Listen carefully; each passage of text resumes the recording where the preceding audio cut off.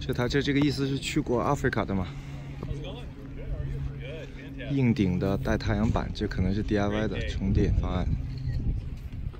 问题呀，去看看 Africa 五千四五万四千 mile，三十五个国家，九百九十九天。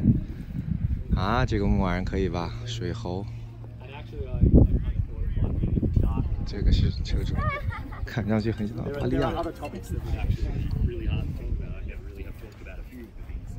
The road chose me，他名字叫 The road chose me，这是他自己的解决方案。He's got the custom, because the roll cage is gone. Right? So if you see he's got a custom hole here. Oh, kitchen.